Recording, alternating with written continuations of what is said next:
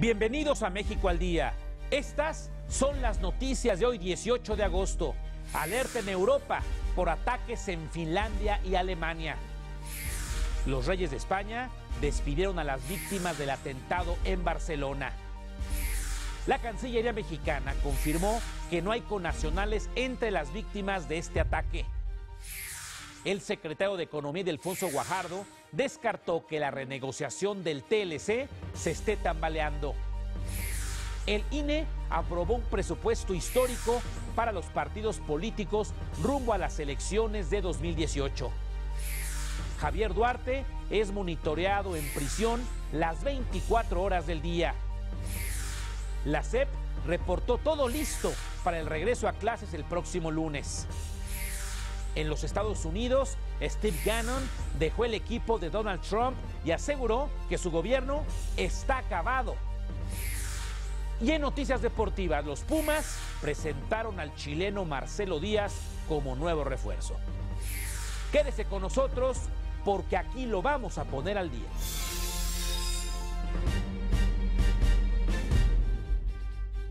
¿Qué tal? Muy buenas tardes, noches. Mi nombre es Gustavo Rentería y les saludo con el gusto de siempre.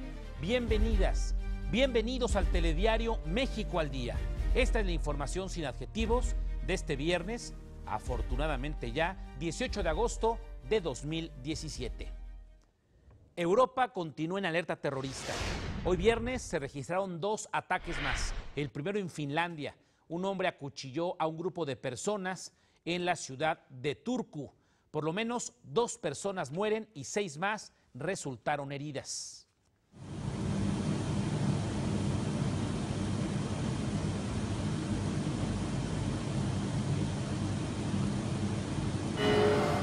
Las autoridades detuvieron a un hombre por estos hechos, mientras que Paula Risico, ministra del Interior, dijo que aún se desconoce si el ataque está relacionado con terrorismo. Un caso similar ocurrió en Wippertal, esto al oeste de Alemania. Ahí se registró otra agresión con cuchillo. Una persona murió y otra persona resultó herida. La policía aún desconoce la identidad del autor o autores. Sin embargo, ya implementaron un operativo para dar con su paradero. En seguimiento a los atentados registrados ayer en Barcelona y Cambrils, allá en Cataluña, las autoridades informaron que las víctimas son 34 de nacionalidades distintas, 34, 34 nacionalidades distintas.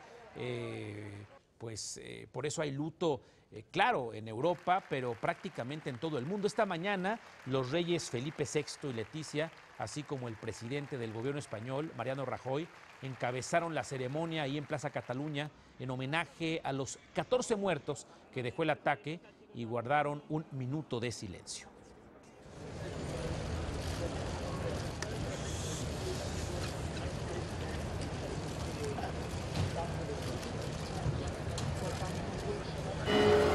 Hasta el momento, las autoridades ya detuvieron a cuatro personas, mientras que hoy tres hombres fueron abatidos por la policía por su presunta participación en los hechos. Se trata de tres sujetos de origen marroquí. Las autoridades informaron que continúan en la búsqueda de un sujeto más.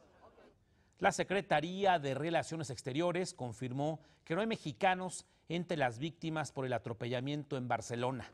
La cónsul de México allá en Cataluña, María Carmen Oñate Muñoz, dijo que la información fue confirmada por la Generalitat. En su cuenta de Twitter, el Consulado de México en Barcelona mantiene el número de emergencia para apoyar a conacionales que pudieran requerir asistencia o protección consular.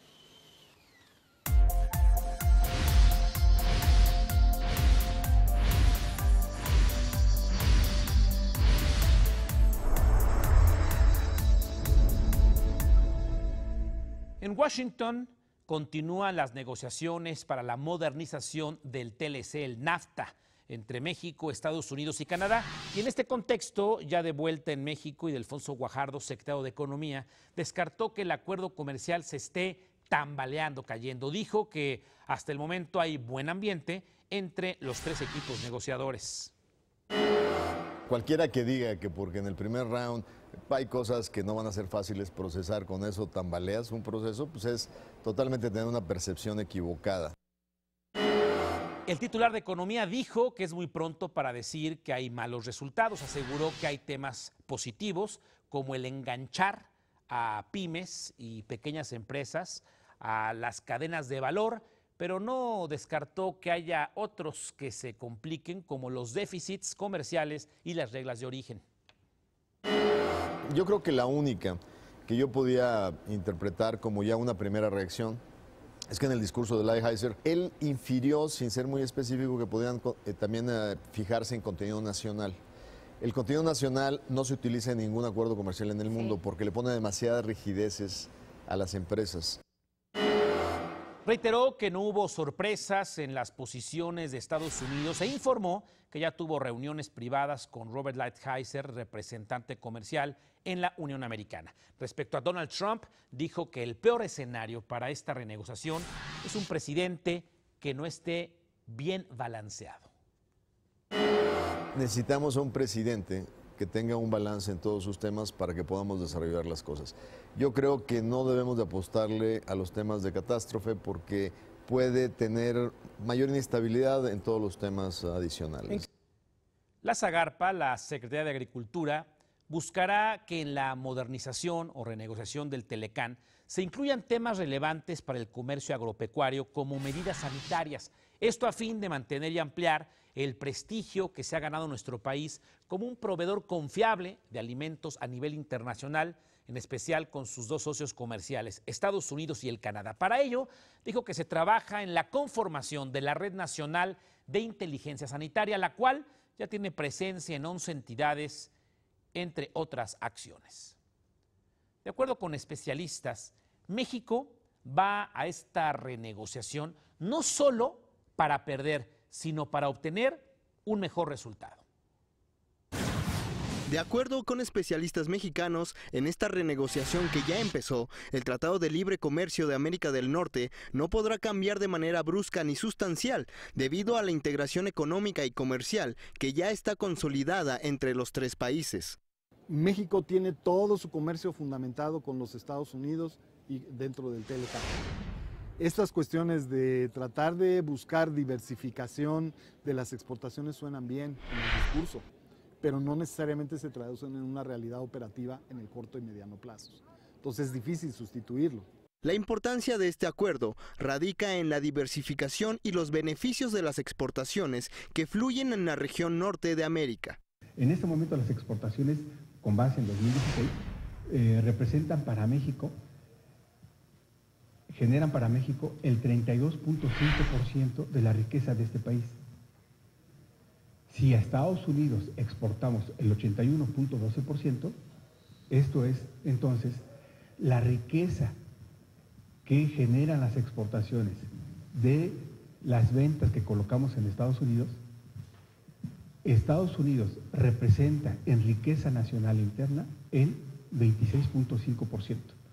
De los productos que exporta México, básicamente son eh, por cada dólar que ellos, que ellos que exportamos nosotros en este tipo de bienes eh, de manufactura, 40% de esos, 40 centavos, son pertenecientes a, industrias norteamericanas.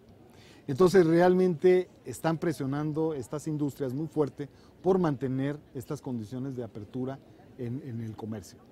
Pero no solo eso, los expertos aseguran que muchas de las posturas del primer mandatario estadounidense, Donald Trump, resultan contradictorias o confusas, como la de reducir el déficit entre el comercio de México y Estados Unidos. Está buscando reducir el déficit comercial de los Estados Unidos lo cual pues es una cuestión extraña en el mundo económico, sobre todo querer eh, colocar el objetivo de reducir el déficit en un tratado comercial, bastante extraño, pero bueno, eso no se logra con tratados, eso se logra con productividad. Por ello, los especialistas recomiendan que antes de voltear a Sudamérica o Asia, México debería rescatar los buenos términos de este acuerdo, sobre todo en lo que se refiere a las exportaciones con nuestros vecinos del norte. Para México al día, Rodrigo Muñoz. Mañana sábado los equipos negociadores abordarán temas relacionados a la solución de controversias, mientras que la discusión sobre las reglas de origen podría extenderse hasta el domingo, día que concluye la primera ronda. Le recuerdo, la siguiente ronda de negociaciones será aquí en México. Regreso. Prohibido cambiarle. Buenas tardes, noches.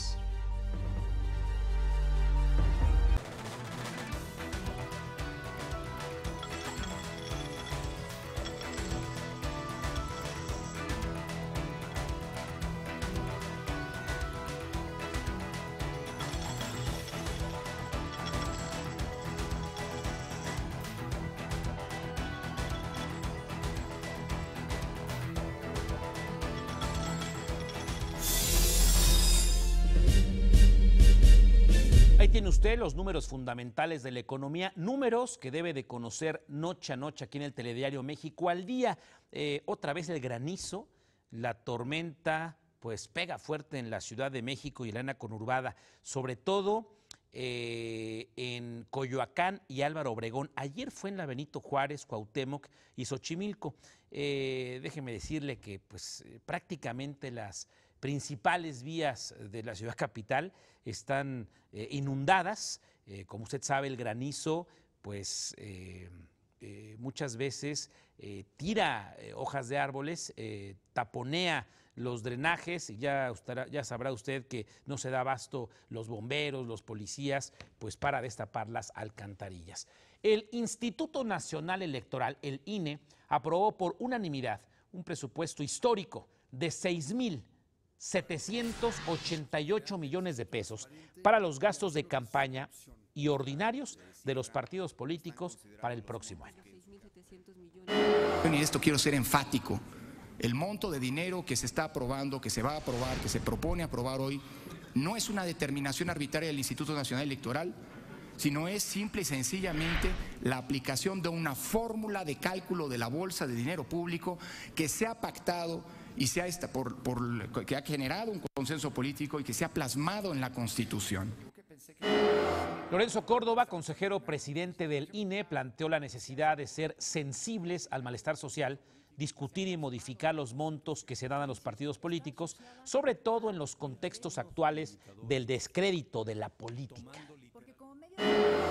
No podemos ser ajenos a esas reflexiones no podemos ser ajenos a la necesidad que se ha planteado desde muchos ámbitos de discutir con amplitud, con objetividad, con serenidad, cuáles son los montos pertinentes que debemos destinar como sociedad a financiar la política.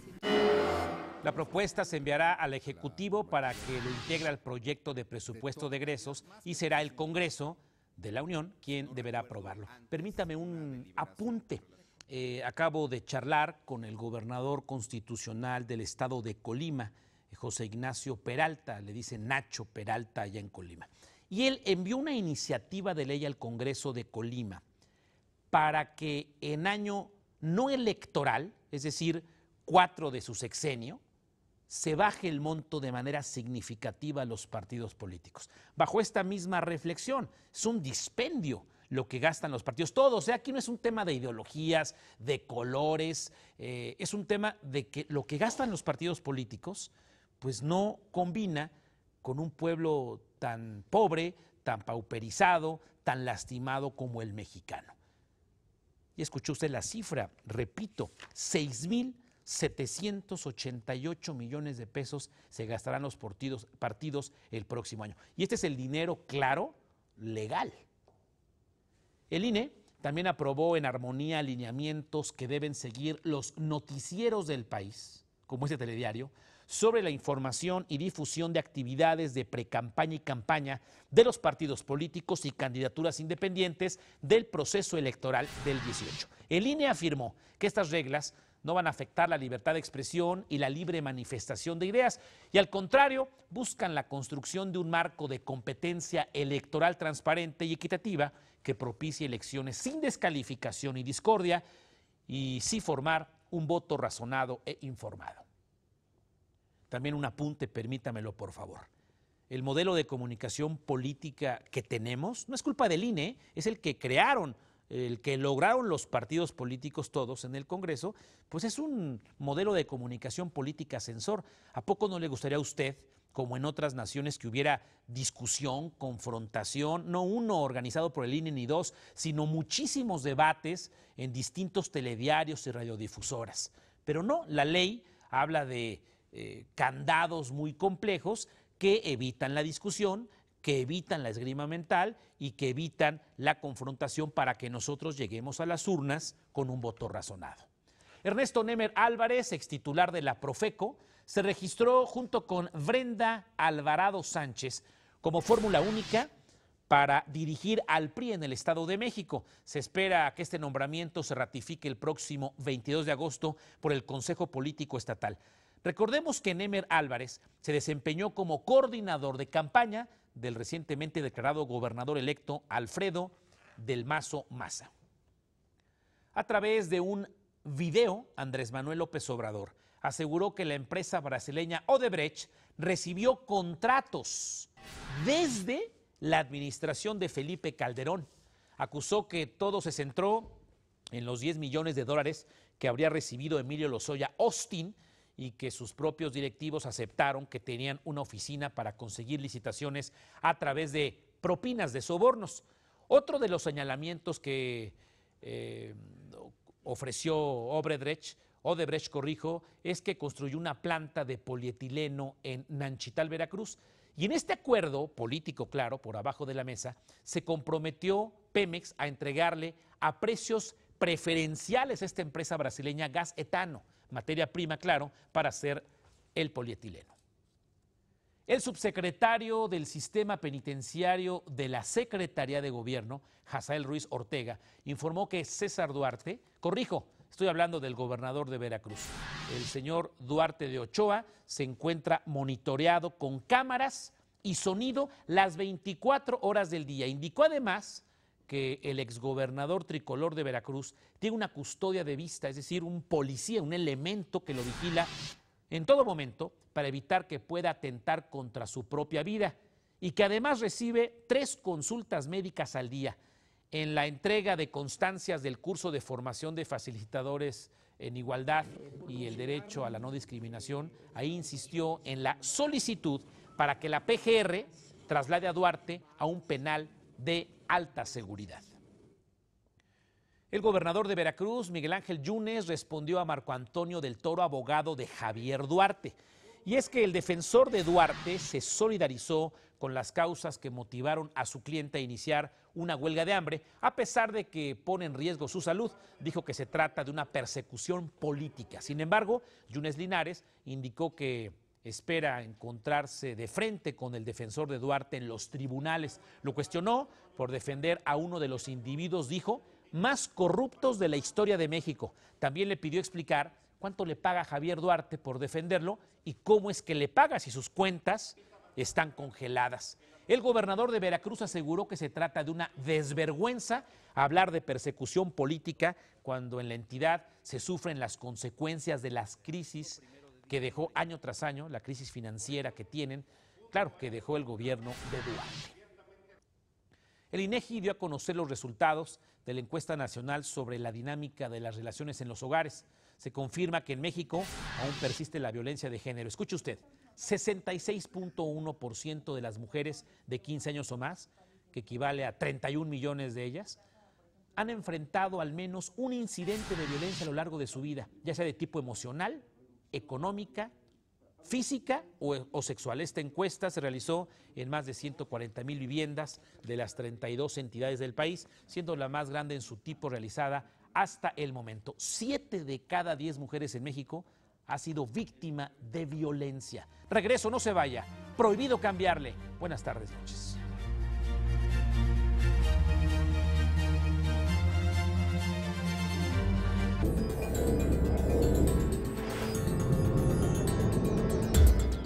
En Estados Unidos, Steve Bannon fue removido de su cargo como asesor de estrategia del presidente Trump. Cabe recordar que Bannon es considerado un supremacista blanco y fue el autor intelectual de algunas de las políticas más polémicas del mandatario estadounidense. Bannon aseguró que el gobierno de Trump ya está completamente acabado. En Venezuela, la Asamblea Nacional Constituyente de Nicolás Maduro ya asumió las competencias del Parlamento, que es dominado por la oposición, o era dominado porque ya está pues aplastado. El decreto le permite legislar sobre materias dirigidas directamente a garantizar la preservación de la paz, la seguridad, la soberanía, el sistema económico, el sistema financiero, los fines del Estado y la preeminencia de los derechos de los venezolanos. La Asamblea Nacional podrá seguir sesionando, pero ya sin ningún efecto. Por cierto, permítame eh, un comentario al margen. Tengo aquí el comunicado 316 de la Cancillería Mexicana. Habla de que el Grupo de Lima eh, pues condena la usurpación de las competencias funcionales de la Asamblea Nacional de Venezuela. Es un comunicado del Grupo de Lima. Eh, países firmantes, Argentina, Brasil, Canadá, Chile, Colombia, Costa Rica, Guatemala, Honduras, Panamá, Paraguay, Perú y también México. La ex fiscal de Venezuela, Luisa Ortega, denunció que el presidente Nicolás Maduro está presuntamente involucrado en el escándalo de corrupción de la firma brasileña Odebrecht. Aseguró que ella tiene los detalles de toda la cooperación, montos y nombres, los personajes que se enriquecieron con los sobornos de la constructora en Venezuela. El secretario general de la Organización de Estados Americanos, la OEA, Luis Almagro, pidió al Consejo Permanente de la OEA retomar discusión sobre la situación política de Venezuela. Almagro denunció que la disolución de la Asamblea Nacional fue un acto fraudulento que profundiza el golpe de Estado.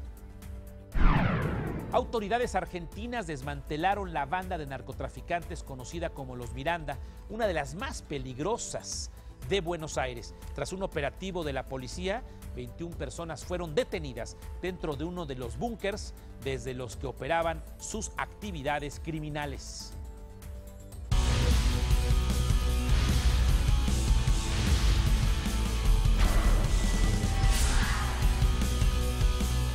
Los chavos que ya van a la escuela a partir de lunes podrán disfrutar su último fin de semana de vacaciones eh, muy deportivo y muy futbolero. Jorge, ¿cómo estás? Bienvenido, buenas tardes, noches. ¿Qué tal, Gustavo? saludo con mucho gusto, amigos de México al día. Pues sí, ya se les acabaron las vacaciones pero por lo menos tuvieron vacaciones. Afortunadamente, pues ya regresan a la escuela y regresará también el tráfico, que si de por sí en la Ciudad de México ya es complicado, se va a poner peor el día lunes. Pero vamos a ver qué pasó este día en el inicio de la jornada número 5 de la Liga MX. Pachuca en contra de Monarcas Morelia. Vean nada más a Raúl Ruiz Díaz anticipándose a la defensa de los Tuzos. Minuto 34, el 1 por 0 después. Este gran pase de Gutiérrez y Víctor Guzmán al 38 le pegaba de esta forma para hacer el 1 por 1 y después Nuevamente Víctor Guzmán al minuto 45 con el remate de cabeza y con esto Pachuca derrota dos goles por uno a Monarcas Morelia y llega momentáneamente al lugar número 11 de la tabla general. Tiene seis puntos apenas el conjunto de los Tuzos que pues había presumido de grandes incorporaciones, pero hoy no estuvo Edson Puch, tampoco ha debutado Keisuke Honda, que se espera que ya lo haga, porque pues obviamente le salió bastante caro para que todavía no juegue. Por su parte, Morelia se mantiene como uno de los cinco equipos que no ha ganado en todo el torneo, así que este día Pachuca arranca esta jornada 5 de la Liga MX ganando 2 a 1 a Monarcas Morelia. Y en estos momentos se está jugando el primer tiempo del partido del segundo de esta jornada entre Tijuana y el equipo de Santos. Al momento el marcador se mantiene 0 por 0, minuto 20 del primer tiempo. Tijuana es el, último lugar del torneo, ha empatado 1, perdido 3, solo ha metido un gol y ha recibido 7. Santos por su parte tiene tres empates, una derrota, pero no ha podido ganar tampoco en este torneo. Seis goles a favor y siete en contra. Así que pues hoy, pues a ver quién gana de estos dos o nos van a dar un empate y esperemos que si es así, que no sea tan aburrido. Vamos a hablar de los eh, Pumas y Tigres y ya también estaremos tocando el tema de lo que pasa en estos momentos con el nuevo fichaje de los Pumas. El equipo universitario, bueno, el capitalino, llegará motivado al juego de mañana ante Tigres a las 19 horas tras vencer a Lobos WAP en la jornada 4, pero en esta quinta fecha tendrá que meterse a un estadio universitario que ha sido un verdadero infierno para los capitalinos. Desde el clausura 2014, los de la máxima casa de estudios no han podido ganar en este inmueble y en sus últimas dos visitas en partido de liga se ha llegado, se ha llevado nueve goles y no ha podido anotar. En la tabla general, los regiomontanos son onceavos y Pumas es noveno. Y justamente en estos momentos está siendo presentado ya, arribó a la Ciudad de México, el nuevo jugador del equipo de los Pumas, Marcelo Díaz, el futbolista chileno seleccionado nacional, llegó al Aeropuerto Internacional de la Ciudad de México y ya está siendo presentado en un hotel también de la capital mexicana, portará el número 23. En lo poco que ha dicho en la conferencia de prensa es que fue un fichaje muy rápido con el Celta de Vigo, se llegó rápido a esta finalización del contrato contrato. Al momento que Puma supo que él iba a rescindir su contrato con el Celta de Vigo, en ese momento pues el equipo universitario se convirtió en una de las primeras opciones para el jugador chileno y pues aseguró, como casi todos los jugadores que llegan a un nuevo equipo, que es una gran institución, un gran club y que vestirá con orgullo la camiseta de los Pumas como ya lo hace a partir de hoy en la presentación que está dando en estos momentos del el jugador chileno Marcelo Díaz, la nueva incorporación de los Pumas que ayudará muchísimo al medio campo junto, como les comentaba ayer, con eh, jugadores como Abraham González, también Kevin Escamilla y David Cabrera. Vamos a ver el nuevo esquema que presenta ahora Paco Palencia, que tal vez tendrá que modificar un poco la forma en la que se presenta en los partidos. Ya veremos qué pasa y cuándo debuta Marcelo Díaz, Liga MX, continuamos jornada número 5, ¿qué va a pasar mañana? Duelos interesantes, otros no tantos, este interesante porque nadie lo va a televisar, Lobos WAP todavía no tiene televisora, va a enfrentarse a las Águilas del la América a las 5 de la tarde en el azul, Cruz Azul contra el Atlas, Veracruz contra Querétaro en el Luis Pirata de la Fuente a las 19 horas, León va a recibir al equipo de los Rayados de Monterrey a las 19.06 horas. Y a las 21.06 horas eh, Guadalajara, las Chivas se enfrentarán a Puebla, vamos a ver si llegan a las el campeón del fútbol mexicano que no gana. Y el domingo solamente un partido al mediodía, Toluca en contra de Necaxa.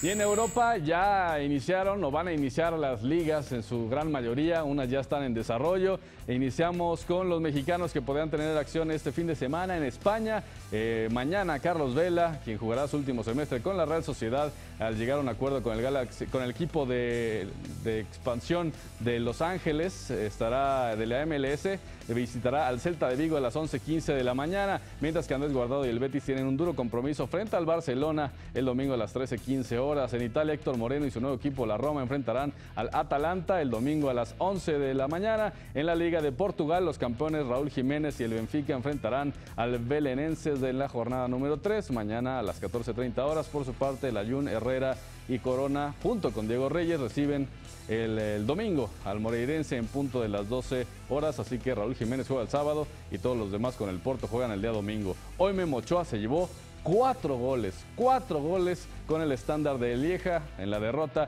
ante el Sulte Warenheim. Así que pues Guillermo Ochoa ni en Bélgica puede mantener en cero su portería. También la defensa no le ayuda mucho. Así que hoy se lleva cuatro, el pasado torneo de los porteros más goleados de la Liga Española y ahora pues ya le está yendo bastante mal en este inicio de temporada en la Liga Bélgica. Ya tenemos también tres jornadas. Hasta aquí la primera parte de los deportes. Más adelante más información. Hacemos una pausa y regresamos con más aquí en México al día.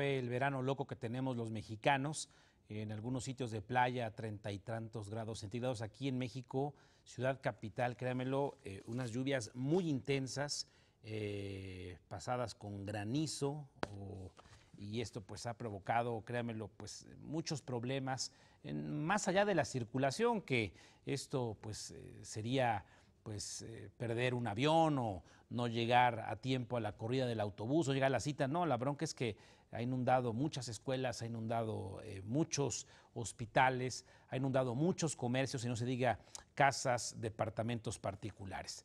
Un abrazo solidario a quien está pasando momentos, créanmelo, complejos aquí en la ciudad capital.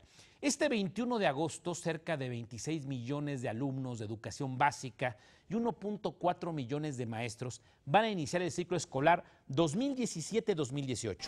El titular de Educación Pública informó que ya se encuentra todo listo y sin contratiempos y aseguró que este ciclo será el de la consolidación del nuevo modelo educativo estamos listos ya para iniciar un ciclo más, un ciclo que va a ser muy importante porque eh, todos los programas que estuvimos presentando en los últimos dos meses del nuevo modelo educativo van a arrancar como programas piloto en, este, en esta fase.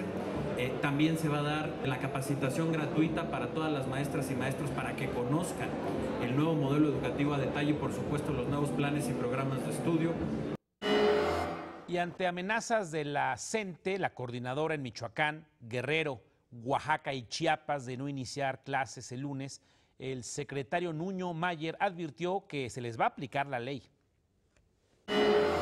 Y que una niña y un niño no tengan clases es algo inadmisible y yo estoy seguro que este será un ciclo en el que ya verán el lunes arrancaremos en todo el país sin ningún contratiempo. Las maestras y los maestros van a cumplir con su vocación, con su responsabilidad y le van a responder a los niños y a la sociedad.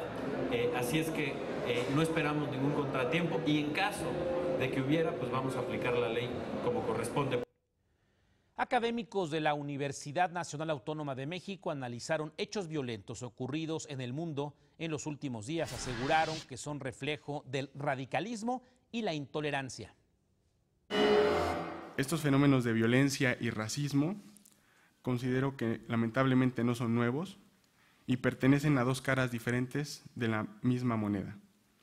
El racismo expresado por algunos grupos de supremacía blanca en Estados Unidos se puede estudiar en resonancia con el ataque terrorista en España, en tanto ambos fenómenos parten del empoderamiento que han tenido las derechas radicales en varios países del mundo. De acuerdo con los especialistas, la pobreza, la crisis de las instituciones, la corrupción y el desempleo son algunos de los factores que alimentan a grupos radicales y narcisistas que cada vez se acrecentan y se vuelven más peligrosos.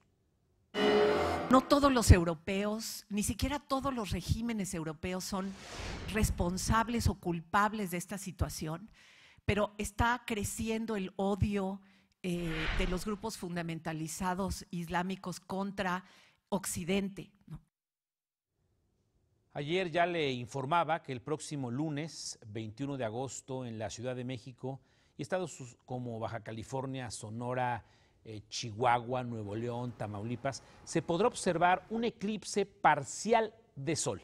Para evitar daños a sus ojos, tómelo en cuenta, por favor. Especialistas del Hospital Juárez de México recomiendan no observarlo de manera directa. Normalmente no ocurre inmediatamente, generalmente pasa entre una o cuatro horas para que esto ocurra y pueden presentar una disminución de visión o una mancha central permanente. estos daños son irreversibles. Indicaron que para ver sin riesgo el eclipse se debe utilizar un filtro para soldar del número 14. Los lentes convencionales de sol, aunque tengan filtro UV, no sirven, solo los certificados por alguna institución científica. Cámaras, telescopios o binoculares o bien espejos de agua no son permitidos. Ojo, no los use, pues el efecto es mayor al ver el sol de manera directa. Le informo que Álvaro López Núñez, hermano del sucesor del cártel de Sinaloa, Damaso López Núñez, alias el licenciado, fue detenido por elementos de la DEA, la Agencia Federal Antidrogas, esto en la frontera en ambos nogales, informó la Fiscalía Federal del Distrito Sur de California. La DEA detuvo a Álvaro López Núñez, hermano del licenciado y tío del Minilic, que estaba considerado como el sucesor, el jefe, pues, del cártel de Sinaloa. El Poli continúa a la vanguardia en avances tecnológicos. Ahora, en el rubro de la medicina, vea usted. La Escuela Nacional de Medicina y Homeopatía del Politécnico presentó la mesa de disección virtual.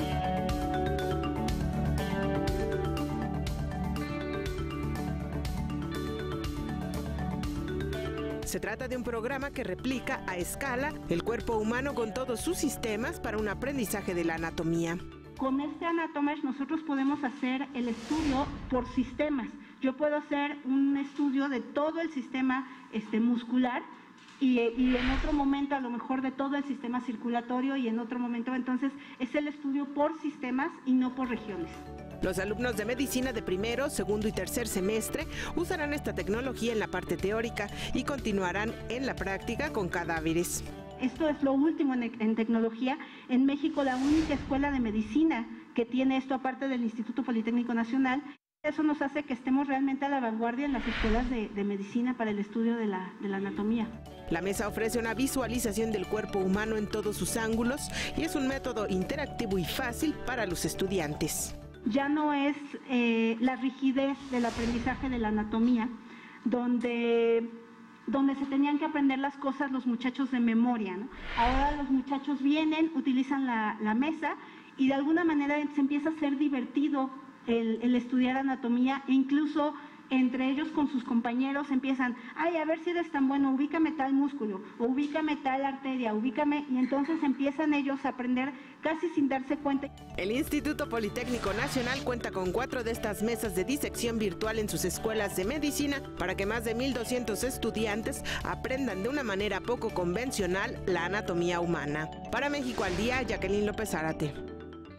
Jackie, muchas gracias. Tome sus precauciones porque del 18 al 23 de agosto, es decir, de mañana sábado hasta el miércoles, habrá cierres intermitentes en el centro histórico de la Ciudad de México. Esto por el rodaje de Godzilla, el rey de los monstruos. El sábado, a partir de las 10 de la noche y hasta las 2 de la mañana del domingo, habrá cierre en Academia, desde Guatemala hasta Soledad y en moneda desde Correo Mayor hasta Jesús María.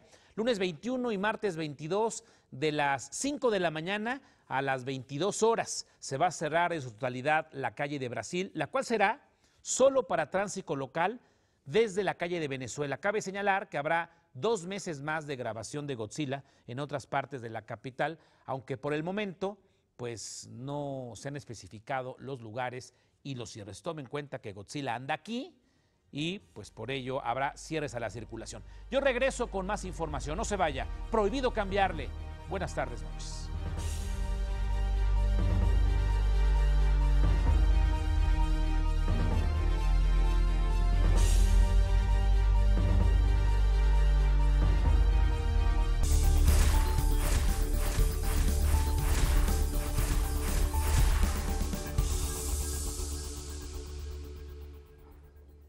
Saludo con mucho afecto a Flor Hurtado que nos tiene más información. Flor, ¿cómo te ha ido? Llegó el viernes, bienvenida, buenas tardes, noches. Muy buenas noches, Gustavo, Auditorio de México al día. Por fin viernes, antes de irnos a descansar, vamos a conocer qué más es noticia hoy en nuestro país.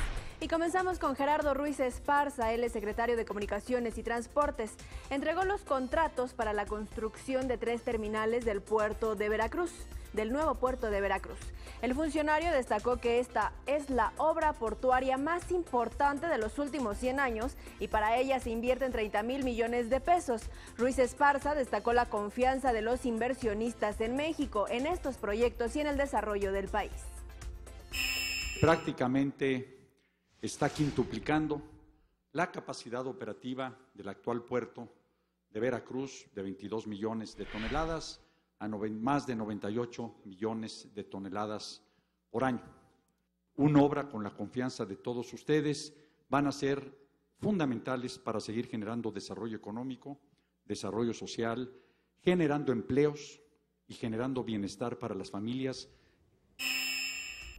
Ahí mismo, en Veracruz, el gobernador Miguel Ángel Yunes destacó que esta entidad ocupa el primer lugar a nivel nacional en personas alfabetizadas. Reconoció que uno de los grandes retos que enfrenta su administración es mejorar la calidad educativa. Esto lo dijo al asistir a la inauguración de la segunda Jornada Nacional de Incorporación y Acreditación del Instituto Veracruzano de Educación para los Adultos.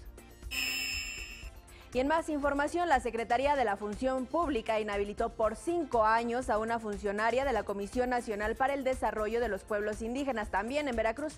El motivo le explico. Resulta ser que luego de una denuncia anónima, la dependencia constató que la burócrata otorgó indebidamente contratos para beneficiar a sus familiares.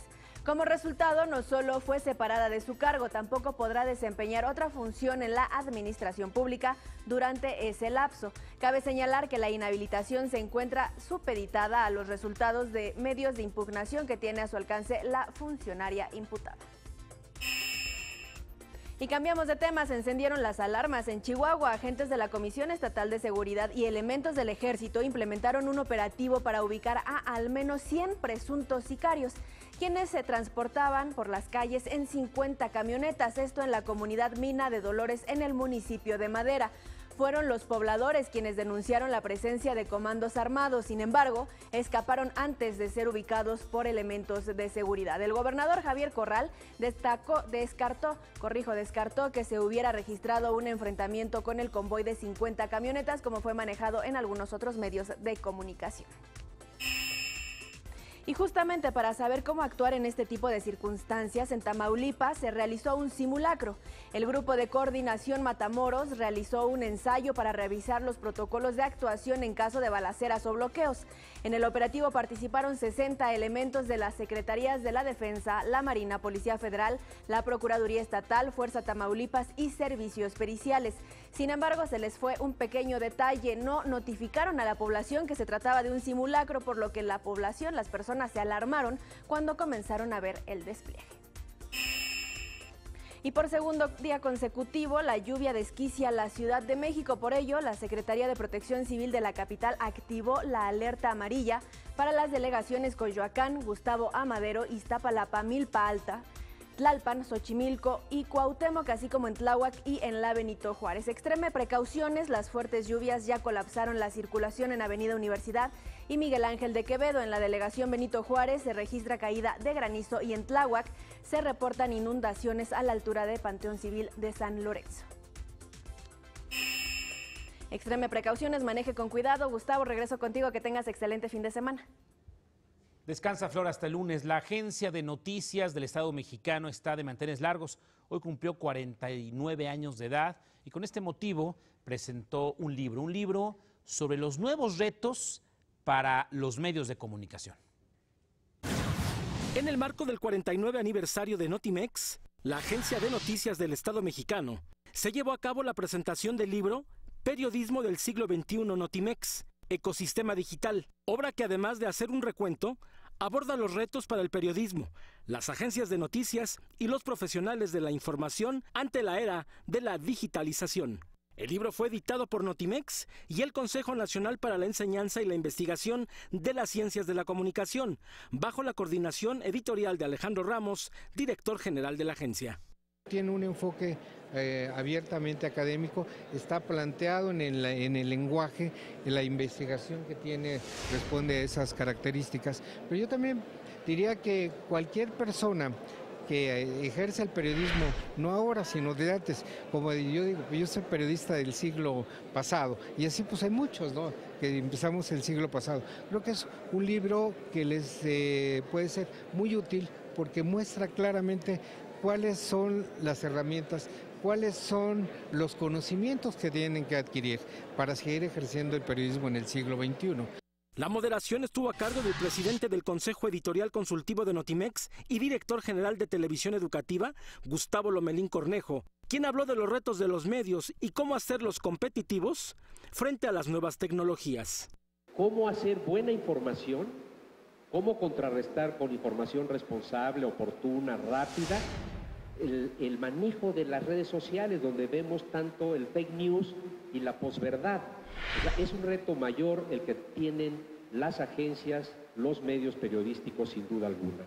Y desde luego el rol de los medios públicos en nuestro eje fundamental que es eh, contribuir a crear ciudadanía, a fortalecer el tejido social y a fortalecer nuestros sistemas democráticos.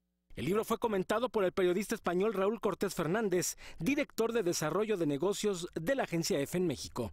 En el ecosistema digital actual, el periodista agenciero es ya un ciberperiodista capaz de manejar las diferentes herramientas tecnológicas que dan sentido a la noticia multimedia en los formatos de texto, foto, vídeo y audio.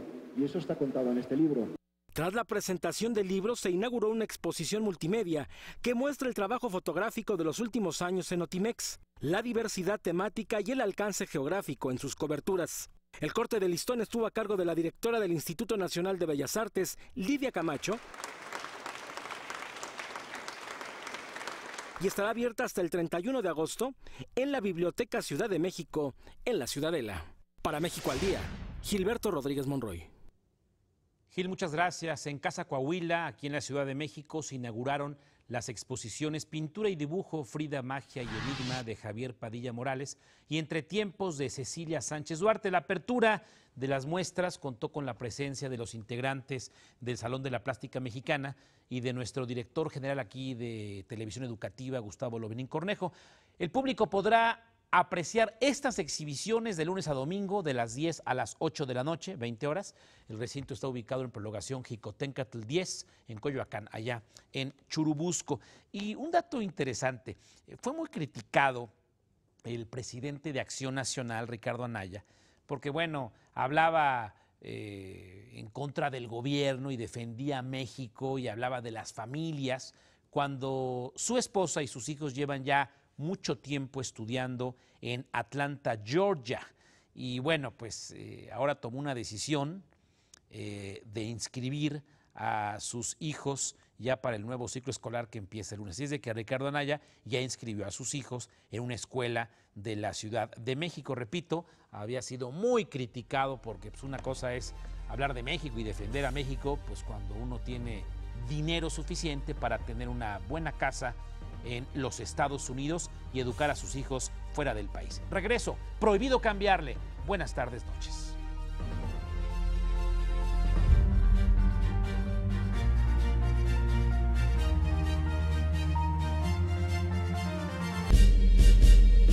Es el turno de Karen Rivera. Es una producción de nuestro canal hermano, el Canal 22. ¿Qué tal Gustavo? Te saludo con mucho gusto y a continuación te presento las noticias culturales. La compañía Seña y Verbo Teatro presenta UGA, obra en donde se abordan temas como la inclusión, la voluntad de comunicarse y la convivencia, la amistad. ¡Un huevo! ¡Hay un... un... ¡Huevo! UGA es una obra para niños que habla sobre el encuentro de una niña oyente y tres sordos. Y es cómo, cómo se descubren y cómo descubren la manera de comunicarse y jugar y aprenden uno del otro. Entonces, de eso va Uga, es una obra muy divertida en la que tres sordos y una oyente se hacen amigos y juegan como los niños juegan, a caerse, a, a resbalarse, a aventarse. Es un... es un... ¡Ay! Así se dice platillo volador. ¡Es un platillo volador! Gustavo, hasta aquí la información. Muy buenas noches.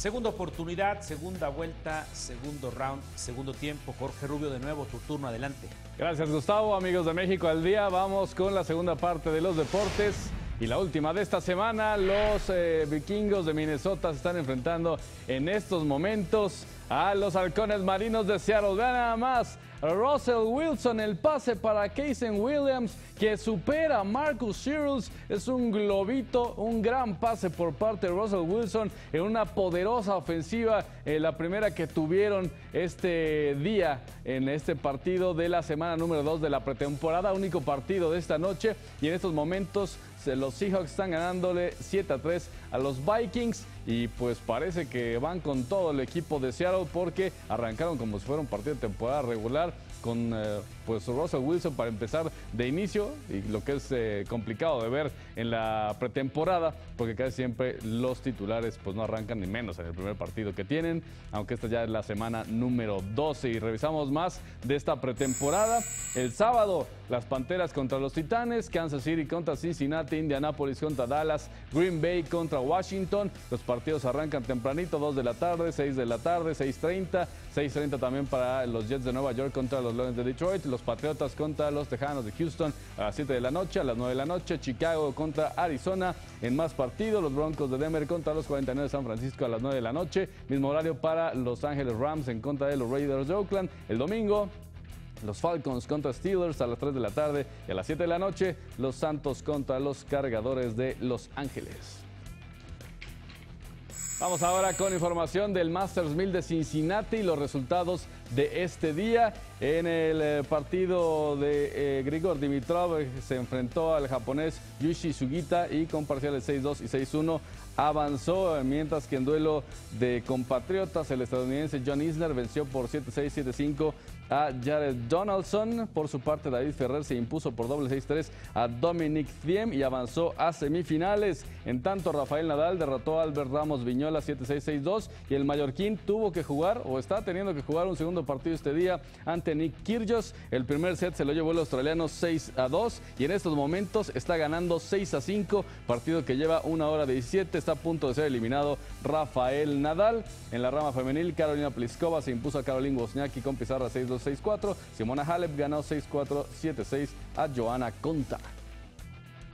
Revisamos resultados del béisbol de las grandes ligas. Eh, hoy Roberto Zuna no pudo intentar salvar el partido. Pierde el equipo de los Blue Jays de Toronto 4-7 con los Cachorros de Chicago. Los Angelinos 7-5 le ganan a los Orioles de Baltimore. San Luis 11-10 le gana a los Piratas de Pittsburgh. Eh, Nueva York, los Yankees le ganan 6-5 a los Red Sox de Boston. En más resultados, los Dodgers de Los Ángeles 8-5 a los Tigers. Diamondbacks 3-6 caen con los Mellizos. Atléticos 1-3 con los Astros de Houston. Indians 9-1 a los Royals. Brewers 4-8 con los Rockies.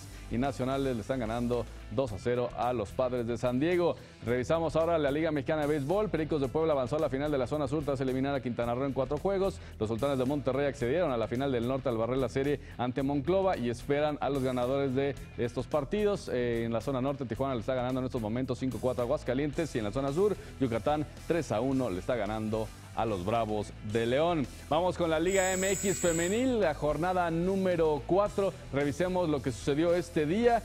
Necaxa y Santos empataron a uno en el Estadio Victoria, el primer juego de las centellas del Necaxa en este inmueble. Las necaxistas no han podido ganar en el torneo, sumaron apenas su primer punto, mientras que Santos tiene ahora cuatro unidades en el grupo 2. Mañana, Veracruz Toluca, 9 de la mañana, Cruz Azul Pachuca a las 11 en el Estadio Azul, Atlas contra Monterrey, Querétaro Chivas, América contra Morelia en el Estadio Azteca a las 4 de la tarde, Tijuana Pumas y Tigres contra León a las 9.05 de la noche. Y por último les presento este video en donde pues siempre que le echamos ganas a algo y nos esmeramos y nos ponemos una meta podemos lograr grandes cosas como esos personajes.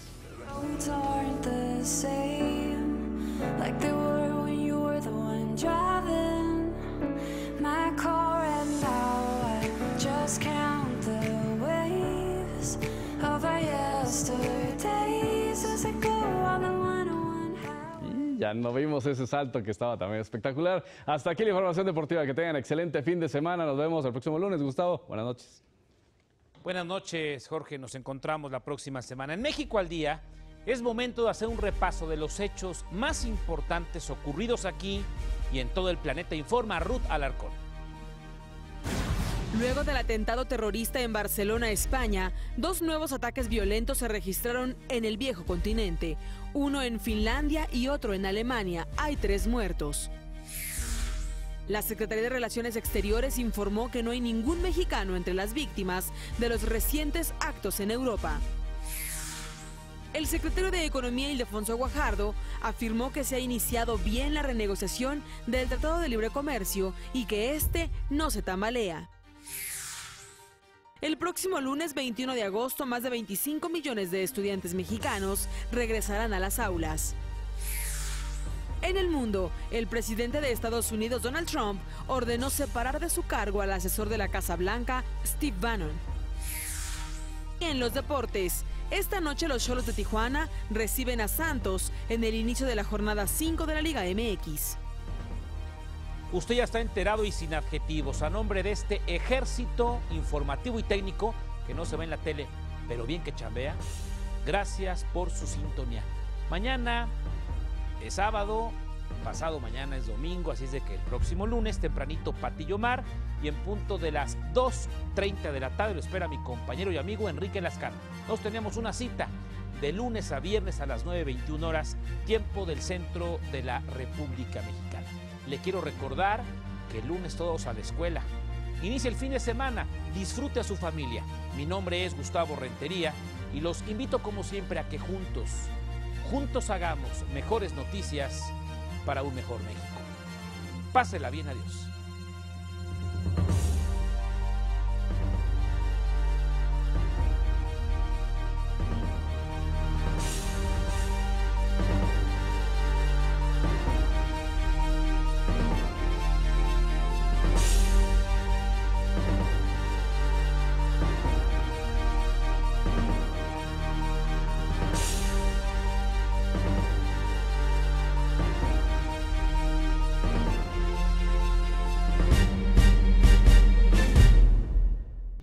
Esto es México al Día.